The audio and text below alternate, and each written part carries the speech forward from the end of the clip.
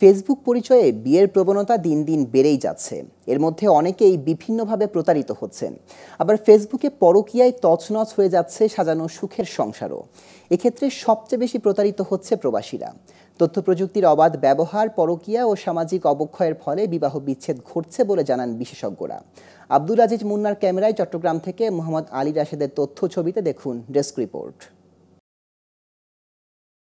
Saudi আরব প্রবাসী আব্দুস সামাদ দুই বছর আগে চট্টগ্রাম আনোয়ারা উপজেলার আব্দুল লতিফের মেয়ে শারমিন আক্তারের সাথে ফেসবুকে পরিচয়। এক পর্যায়ে ফেসবুকে প্রেম, পরে সৌদি আরব থেকে চট্টগ্রামে এসে দুই সন্তানের জননী শারমিন আক্তারকে বিয়ে করেন ময়মনসিংহের আব্দুস সামাদ। কিছুদিন সুখেই সংসার করেছেন, পরে হাতে চলে আসে বইয়ের ফেসবুকে বিভিন্ন লোকের সাথে পরিচয় ও প্রেম এবং অনৈতিক সম্পর্কের ডকুমেন্টস ওনার দুইটা সন্তানের মুখের মুখের দিকে তাকিয়ে আমি ওনাকে বিয়ে করি বিয়ে করার পরে আমি দেশে যাই।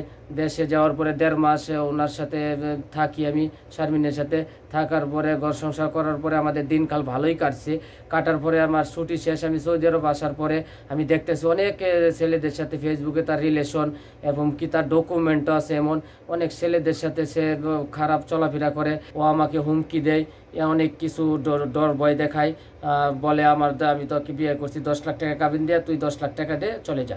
এ বিষয়ে শারমিন আক্তারের সাথে যোগাযোগ করলে তিনি জানান। ও যে কতটা খারাপ একটা মানুষ, আপনি ওর ভয়েসগুলো শুনলে, ওর রেকর্ডিংগুলো শুনলে তারপরে বুঝতে পারবেন।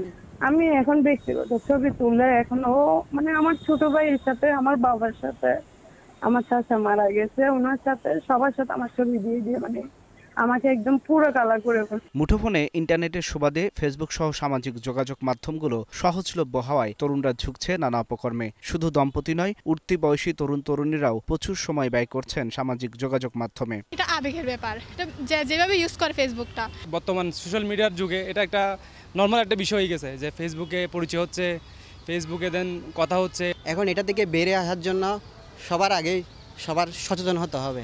কোন বয়সে কোন ক্লাসে উঠলে যে আমরা এদেরকে মোবাইল দিব এটা হচ্ছে আমাদের গার্ডিয়ানদের জানা উচিত। এ বিষয়ে বিশেষজ্ঞরা বলছেন ফেসবুকে অপসংস্কৃতি চর্চায় মানুষের চাহিদা দিনে দিনে বৃদ্ধি পাচ্ছে। ফলে স্বামী স্ত্রীরা বিদ্যমান সম্পর্কের বাইরে গিয়ে অন্য মানুষের সঙ্গে সম্পর্ক তৈরি করছে সামাজিক যোগাযোগ মাধ্যমগুলোতে ব্যবহার করে এগুলোর মাধ্যমে কিন্তু প্রতারণা শিকার হচ্ছে অনেকে। বিশেষ করে যারা প্রবাসে থাকে, তারাই দেখা যাচ্ছে এই ধরনের প্রতারণার শিকার হচ্ছে এবং প্রতারণার ফাঁদে অনেক সময় পা দিচ্ছে। নিজের অজান্তে হোক অথবা ভুলের কারণে হোক, এই ধরনের প্রতারণার শিকার হচ্ছে বেশিরভাগ প্রবাসীরাই। অপরাধ প্রবণতা বাড়তেছে, এগুলো ব্যবহার করার মধ্যে দিয়ে পাশাপাশি বিভিন্ন ধরনের সংসারের মধ্যে ভাঙন তৈরি হচ্ছে কিন্তু। এই, এইসব ফেসবুক বা সোশ্যাল মিডিয়া ব্যবহারের মধ্য দিয়ে। সামাজিক যোগাযোগ মাধ্যম হিসেবে ফেসবুকের নিজস্ব কোনো খারাপ দিক নেই।